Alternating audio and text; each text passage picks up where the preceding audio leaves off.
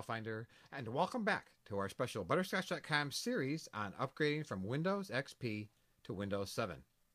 In the last segment, we had begun the install process and arrived at this part where we select the drive where we want to install Windows 7.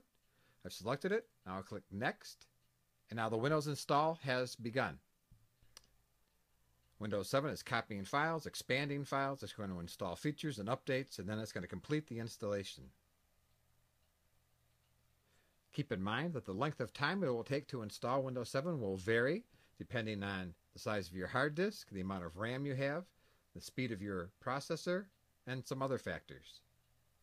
You can see down here there is an installation progress meter that gradually moves its way across. So we're going to sit here quietly and watch Windows 7 be installed. We're closing in on 97%. And now Windows 7 is going to reboot. You can see that it's starting Windows. Setup's updating the registry settings. Now it's starting up services. And it's getting ready to complete the installation. Setup's going to restart the computer again. Once again, it's starting Windows. Setup's preparing to run the computer for the first time under Windows 7. It's checking the video performance. Now here we are. We need to select a username for ourselves. I think I'll be Doc. You can also give your computer a name that's meaningful to you.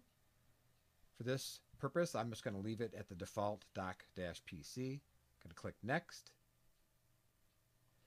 Now it needs to type password. You have to make sure that it's at least eight characters. And an interesting thing, if you don't put in a clue, the next button won't be available. So you need to put in a clue, even if you put in a few letters. Click next. Now we have to put in our product key. You'll pardon me while I do that. And once you put in your product key, you can also elect to activate Windows when it goes online.